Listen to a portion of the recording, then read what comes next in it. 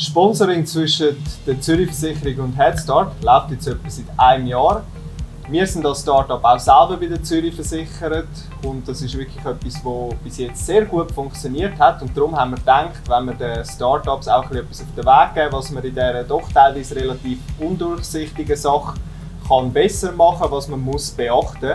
Michi, ich übergebe dir gerne das Wort. Was ist wichtig für Startups, wenn es um Versicherungen geht? Ja, ich glaube, es ist, äh, ist ein wichtiges Thema. Oder? Es ist uns bewusst, es ist äh, nicht das Lieblingsthema der Startups. Es ist glaube ich, das Lieblingsthema von niemandem am Schluss des Tages, um sich mit dem aktiv auseinanderzusetzen. Und trotzdem ist es etwas, etwas sehr Wichtiges und kann, kann am Schluss des Tages auch äh, wirklich überlebenswichtig sein, auch für eine Firma. Oder? Mhm.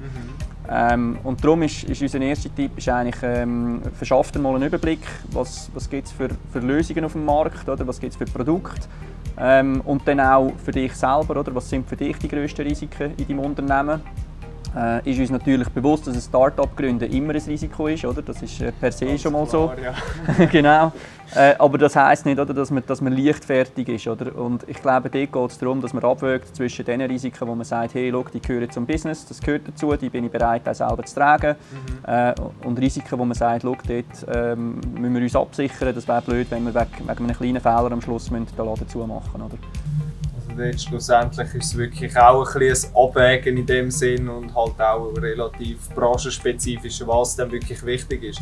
Hast du vielleicht so genau. einen Nagel, was jedes Startup unbedingt machen sollte? Ja, also ich glaube ganz klar ist, es gibt obligatorische Versicherungen, gerade wenn man Mitarbeiter hat, oder? das ist zum Beispiel eine Unfallversicherung. Äh, schauen, dass man eine Pensionskassenlösung äh, hat für die Mitarbeiter, das ist äh, essentiell natürlich. Äh, und was wir immer sagen, ist auch eine, Haftpflichtversicherung, oder? weil das sind äh, Fehler, die man Dritten, äh, vielleicht durch einen Fehler, wo man einen Schaden einem Dritten zufügt mhm. und das sind sehr teure Schäden, die wirklich die Existenz von einer Firma können, äh, gefährden und darum empfehlen wir ganz dringend, das abzusichern in jedem Fall. Ja. Okay. Genau. Nummer zwei oder Punkt Nummer zwei auf der Checklist. Punkt Nummer zwei ist, ist äh, aus unserer Sicht, dass man Prioritäten setzt. Äh, ganz persönlich für sich. Oder? Wir haben gesagt, ähm, man muss auch ein selber herausspüren, was sind die Risiken, die ich kann tragen oder nicht. Mhm. Ähm, ich glaube auch dort, oder, es gibt ganz viele unterschiedliche Start-ups. Oder? Also es gibt äh, vielleicht eine Studentin, die noch daheim wohnt und nebenbei irgendwo etwas aufbauen Oder dann gibt es vielleicht irgendwo äh, einen 45-jährigen Architekt, der wirklich ein Büro übernimmt mit Mitarbeitern ähm, wo auch als Startup durchgeht. Oder? Und der hat vielleicht daheim noch eine Familie, der hat eine Hypothek zum Abzahlen. Oder? Und da kommen ganz andere Themen dann, äh, ins Spiel. Und, und ich glaube, dort ist wichtig, dass man die individuelle Situation anschaut. Ähm, und dass man auch eben schaut, wie viel Risiko bin ich bereit selber zu tragen und sich dort so ein bisschen die Prioritäten festlegt. Genau. Wie viele von diesen Sachen sollte man sich schon vorher selber überlegen, bevor man jetzt auf eine Versicherung zugeht? Ja, also ich empfehle, dass man sich mal äh, sich informiert online. Äh, wir bei der Zürich haben zum Beispiel online einen KMU-Check, wo man mit relativ wenig Fragen äh, eine erste Produktempfehlung bekommt. Und ich denke, es macht Sinn, dass man sich mal einlässt, dass man mal ein bisschen schaut, okay, was sind das für Risiken, was gibt es dort für Lösungen dazu. Ähm, und dann am Schluss des Tages ist wirklich die Beratung auch der nächste Schritt. Oder? Also ich glaube, es ist ganz wichtig, dass man dann auch mit jemandem redet, äh, dass man das mal spiegelt äh, mit der Meinung von einem ja. Experten. Äh, und da gibt es auch ganz verschiedene Wege. Oder? Man kann das einfach am Telefon machen äh, und seine Fragen dort stellen. Oder man kann auf eine Agentur gehen und bei einem von, einem, bei einem von unseren Versicherungsberatern zum Beispiel äh, einen Termin buchen und mit dem das mal besprechen. Oder? Also man hat da auf jeden Fall diverse Anlaufstellen, wo man sich die Informationen kann holen kann. Genau, unsere Türen sind offen und ich glaube, wir haben viele Expertise. Äh, einerseits eben bei uns im, im Vertriebsnetz, dann aber auch online, eben, wenn man einfach will anrufen will. Ähm, unsere Experten sind da und sie beraten gerne und das hat auch nichts damit zu tun, dass man dann auch mal so etwas kaufen am Schluss. Aber ich glaube, es ist wichtig, dass man sich mal bewusst wird, was ja. es für Risiken gibt. Perfekt. Punkt Nummer drei. Ja, das war eigentlich der Punkt Nummer drei schon gewesen. Eine Beratung, das wäre wär mein Tipp gewesen, oder? Also, also wirklich auf einen Experten zugehen. Ähm, und dann kommen wir eigentlich gerade schon zu Punkt Nummer vier und das wäre dass man das auch regelmäßig überprüft. Oder gerade als Startup glaube ich, ist es besonders wichtig, weil die Situation verändert sich. Oder? Nach einem Jahr äh, hat man vielleicht plötzlich zwei, drei neue Mitarbeiter, man hat mehr Umsatz, äh, das Geschäft hat sich dann vielleicht gleich in eine andere Entwicklung, äh, in eine andere Richtung entwickelt, als man ursprünglich gemeint hat.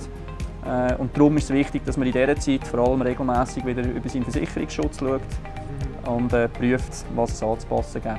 Ja, das ist tatsächlich etwas, was wir jetzt nach ein mehr als einem Jahr, wo wir im Business tätig sind, eigentlich auch dran sind, dass wieder mal alles neu anzuschauen, weil ja, es verändert sich relativ schnell etwas. Und ich glaube, die Sicherung ist trotzdem immer im Hinterkopf, aber man denkt vielleicht nicht gerade als erstes daran, dass man jetzt dort wieder etwas muss anpassen muss. Ich denke, das ist ja. ein wichtiger Punkt. Ja. Mhm. Ja, also ich glaube, am Schluss des Tages geht es wirklich darum, dass man, dass man sich sicher fühlt, dass man die, die, die wichtigsten Risiken äh, abgesichert hat, äh, weil am Schluss des Tages ist es wirklich auch schade, wenn ein Startup äh, muss zumachen wegen irgendeinem Fehler, der passiert ist, wo man nicht richtig abgesichert war. Oder? Definitiv, ja. Gut. Gut. Jetzt vielleicht nochmal schnell zusammengefasst, ganz kurz die wichtigsten Sachen, die man als Startup muss beachten muss mhm. in der Versicherungsauswahl. Du vielleicht gerade schon dem Publikum direkt sagen? Ja, also eben meine Empfehlung ist, euch einen Überblick verschaffen, informiert euch online, geht auch gerne bei uns auf die Webseite, äh, macht den KMU-Check, schaut an, welche Produkte es gibt. Ähm, lasst euch nachher auch beraten, schaut mit eurem Berater zusammen, was für euch Prioritäten sind, äh, wo ihr euch absichern wollt und wo ihr sagt, das Risiko trage ich selber.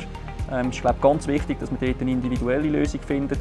Ähm, und dann vergessen es nicht, nachher, nach der Gründung äh, schaut regelmäßig wieder drauf. Ähm, kann auch dazu führen, dass ihr noch Prämien sparen am Schluss. Oder? Äh, ich glaube, wichtig ist einfach, dass man dranbleibt und das regelmäßig wieder anschaut. Super, Michi, danke dir vielmals für die spannenden Insights. Ich glaube, ja, es ist ein Thema, man setzt sich nicht unbedingt gerne auseinander damit, muss man ehrlich sein, aber trotzdem sehr essentiell, wenn man sein eigenes Business startet. Den vorher erwähnten KMU-Check könnt ihr unter zürich.ch startups anschauen. Dort findet ihr auch die letzten Episoden, die wir mit Headstart aufgenommen haben. Wir würden uns freuen, wenn ihr dort vorbeischaut. Vielen Dank fürs Zuschauen und schönes Tag miteinander.